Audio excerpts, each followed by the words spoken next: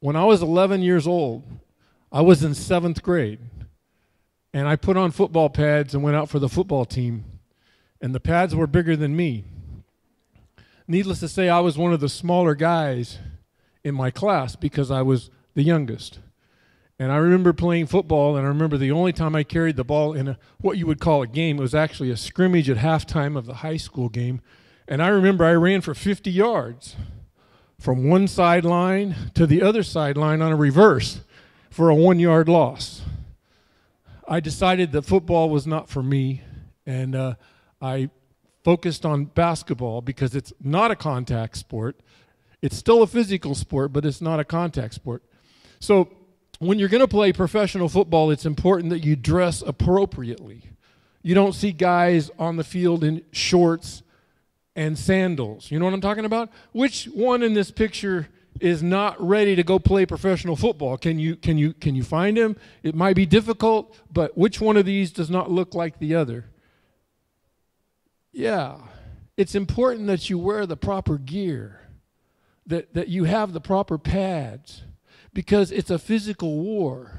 And Paul says in the New Testament, he says, Our fight is not against the people on earth but against the rulers and authorities and the powers of this world's darkness, against the spiritual powers of evil in the heavenly world. That is why you need to put on God's full armor. Then, on the day of evil, you'll be able to stand strong. And when you've finished the whole fight, you'll still be standing. So stand strong with the belt of truth tied around your waist and the protection of right living on your chest. On your feet, wear the good news of peace to help you stand strong. And also use the shield of faith with which you can stop all the burning arrows of the evil one. The Bible names a real opponent that we have one that we need to be aware of, we need to take notice of, that one that we need to prepare for because it's a real and present danger of our faith the devil. In the Greek, the word for devil is diablos, and it shares a root with the verb diabolon, which means to split. The devil is a splitter, he's a divider, he's a wedge driver. He divided Adam and Eve from the Garden of Eden, and he'd like to separate you from God as well. He wants to take unbelievers to hell, and he wants to make life hell for believers.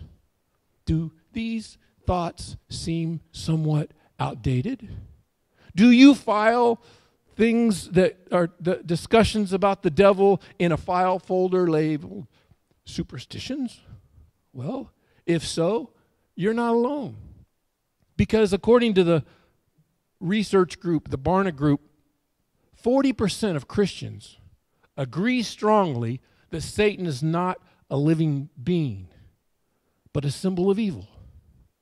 And an additional 19% somewhat agree with that perspective. A minority of Christians, 35 percent believe that Satan is real.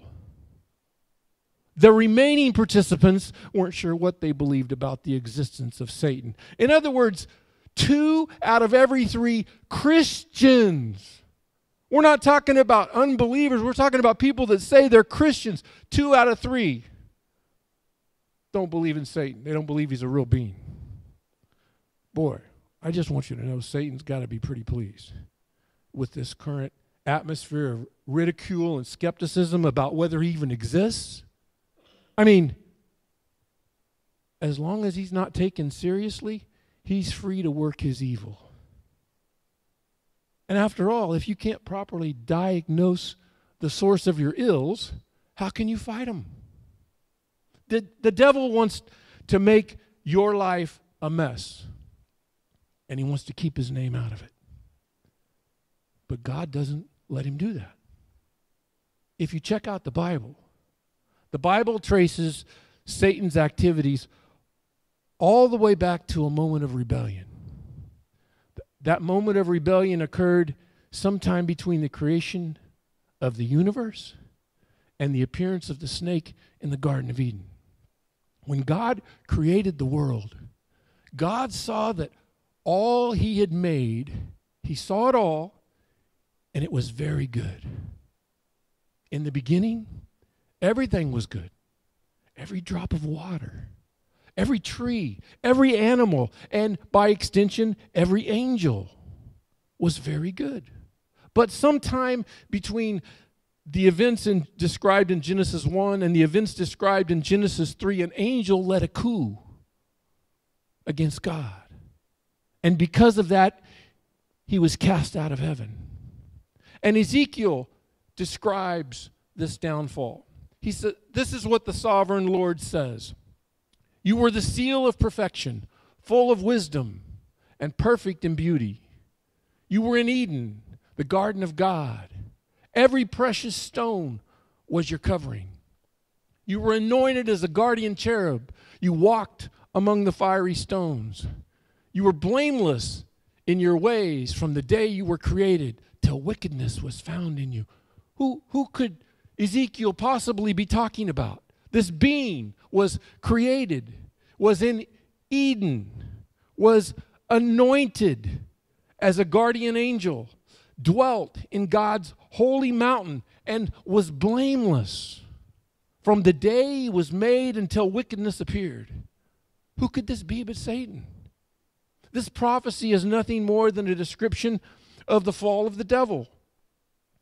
He goes on to say, through your widespread trade, you were filled with violence and you sinned.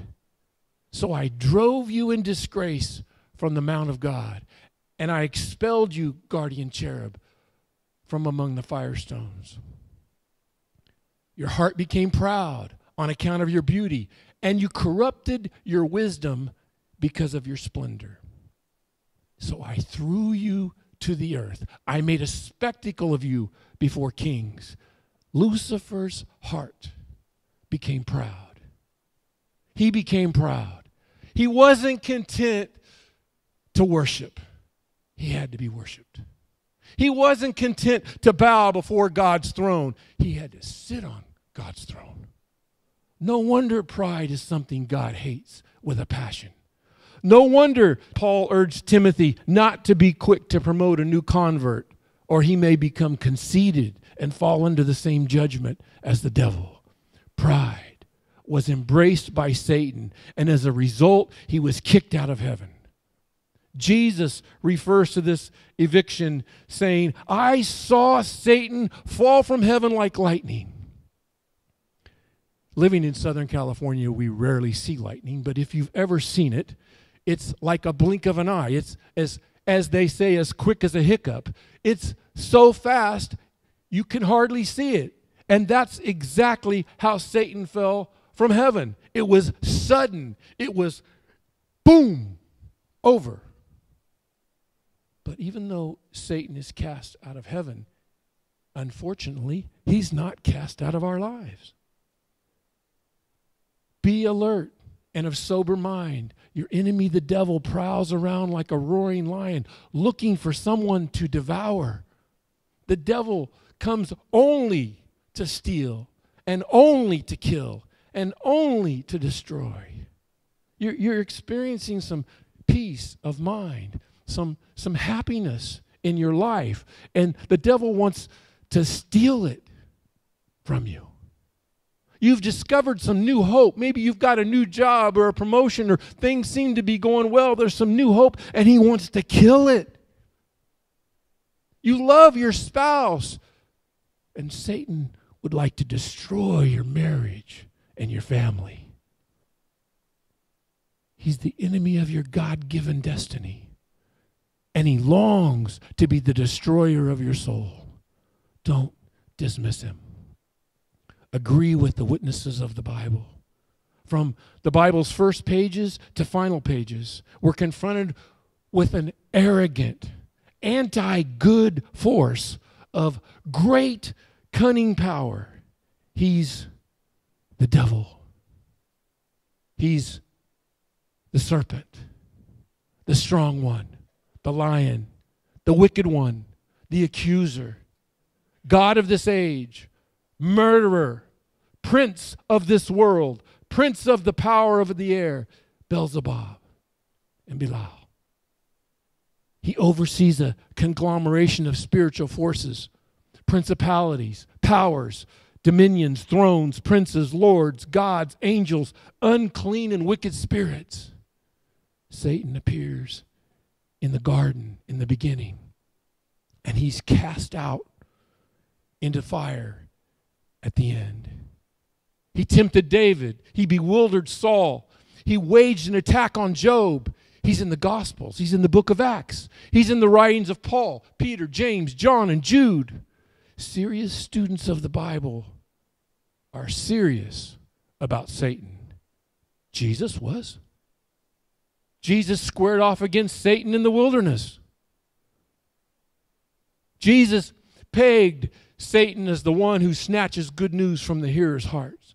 And prior to his crucifixion, Jesus proclaimed, Now will the ruler of this world be cast out. Jesus saw Satan not as a mythical image, not as an invention of allegory. Jesus saw the devil as a superhuman narcissist. When Jesus taught us to pray, he didn't say, Deliver us from the nebulous negative emotions. He said, Deliver us from the evil one. We play it to the devil's hands when we pretend he doesn't exist. The devil is a real devil. But this is huge, this, this part. He's not only a real devil, but you need to know he's a defeated devil. Were Satan to read the Bible, something he would never do, he'd be discouraged because over and over again, reference after reference makes it clear that the devil's days are numbered. Having disarmed the powers and authorities, Jesus made a public spectacle of the forces of evil, triumphing over them by the cross. Jesus stripped Satan of certain victory, and he and his minions are being held on a very short leash until the final judgment. On that day, the great day, Jesus will cast Satan into the lake of fire from which the devil will never, ever return. Jesus has already defeated the devil. But be alert to the devil. Don't be intimidated by him. Learn to recognize his stench, since he comes only to steal and only to kill and only to destroy. Then, wherever you see heists, wherever you see death and destruction, you need to turn to God in prayer. Since his name means divider, whenever you see divorce, Whenever you see uh, rejection or isolation, you know who the culprit is. It's important that you go immediately to the scripture and stand on the promises of God regarding Satan. The God who brings peace will soon defeat Satan and give you power over him. God's spirit that is in you is greater than the devil who's in the world. God is faithful. He will not let you be tempted beyond what you can bear. Resist the devil, and he will flee from you. The devil is filled with fury because he knows that his time is short, and that is why you need to put on God's full armor. Then, on the day of evil, you'll be able to stand strong and when you finish the whole fight, you'll still be standing. So stand strong with the belt of truth tied around your waist and the protection of right living on your chest. On your feet, wear the good news of peace to help you stand strong, and also use the shield of faith with which you can stop all the burning arrows of the evil one. Football players know better than to walk on to the battlefield with shorts and sandals. Soldiers going to war, they know better than to walk on to the field, the battlefield wearing nothing but shorts and sandals. They take time to prepare. They take every weapon into the conflict, and so should we. Every conflict with Satan and his forces we need to take serious. And for that reason, though we walk in the flesh, we do not war according to the flesh, for the weapons of our warfare are not carnal, but mighty in God for pulling down strongholds. What are those weapons? When we pray, we engage the power of God against the devil. When we worship, we do something that Satan himself didn't do. We place God on the throne. And when we pick up the sword of the scripture, we do what Jesus did in the wilderness. He responded to Satan by proclaiming the truth. And since the devil has a severe allergy to truth, he left Jesus alone. Satan may be vicious, but he's not victorious. As over the years, working with teenagers, our youth program was on Sunday nights, and many times um, I would tape the Chiefs playing so that when I got home after youth group, I could watch the game in its entirety. And I didn't want to know the score, but there were many times where the game was a late afternoon game and I would not be able to watch any of it. And I would come to youth group, and inevitably, I remember one particular night where somebody says, Hey, how about those Chiefs? They won today. And I went, Oh, I was going to watch that. I knew the outcome already. So I go home, I turn on the TV, I cue it up. I knew the score. And as the game went back and forth, the other team intercepted a pass. But didn't really bother me that much. We fumbled the ball. We were trailing in the fourth quarter. The other team had a chance to win at the end, but it was no problem because I already knew who won. Ladies and gentlemen, the victory is certain. Between now and the final whistle, you will, you will have reason to be anxious. You're going to fumble the ball, and the devil's going to seem to gain the upper hand.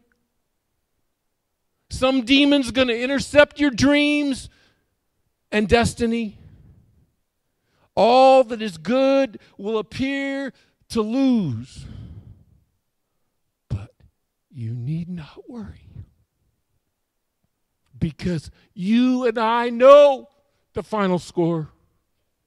We know who wins. So next time you smell that stinky breath of the devil, remind him of the promise that he doesn't want to hear. The God who brings peace will soon defeat Satan and give you power over him. It's a battle, so we've got to be prepared. We have to suit up. Can't take it lightly, but it's a battle that God's already won. So don't give the devil more than a passing glance. The enemy's been defeated. Death couldn't hold him down.